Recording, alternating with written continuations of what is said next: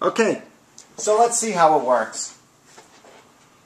Again, this is really just the Apple Cinema display connected to a base which is hooked up to a Mac Mini. So to power it up, we actually just power up the Mac Mini. And the familiar Apple booting sound. While it loads, just want to show you that this is uh, has all the flexibility of the native iMac G4. Again, it's got the 180 degree rotation. It tilts back, you know, it tilts forward. It's really no more difficult to manipulate uh, than the original iMac G4 20 inch, which again was a little bit tougher to manipulate than the 17 inch, but uh, it's pretty easy. You know, you could do it with one hand, uh, swivel it around.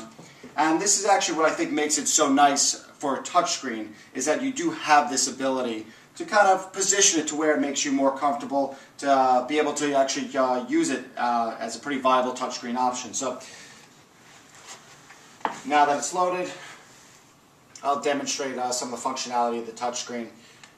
And this is a 5-wire resistive. Uh, it's not quite as good as a capacitive touchscreen in terms of its accuracy, but it's pretty good when you're dealing with such a large screen. Here's just opening up Safari. And again, it's pretty easy to move uh, icons around the desktop. To uh, touch smaller icons, to close windows, it's obviously more difficult. To touch the little icons on top, it does get more difficult.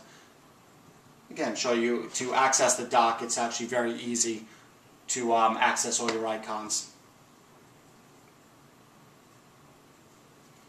So again, just using the iTunes library, and very easy to kind of scroll through the songs using the touchscreen. And just to demonstrate the use, uh, it's the same Apple Pro speakers that you remember.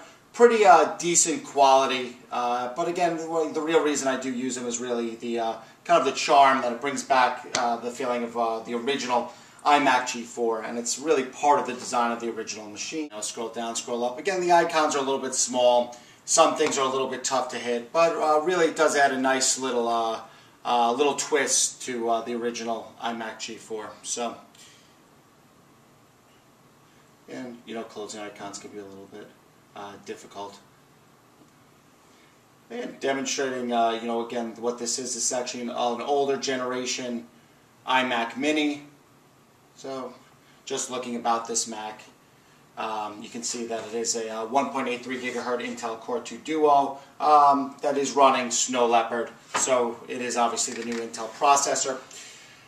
And again, I am using this with uh, the Apple uh, Bluetooth keyboard as well as the Magic Mouse. So uh, when you're not using it as a touchscreen, you know you do have that ability to use it as a conventional laptop. I'm sorry, uh, conventional desktop. So again, uh, a pretty nice mod. It's nice to actually have the iMac G4 again be kind of part of my desktop, which was really my whole goal with this mod, is to use uh, update enough that I can um, continue to uh, use it as uh, you know one of my mainstream computers.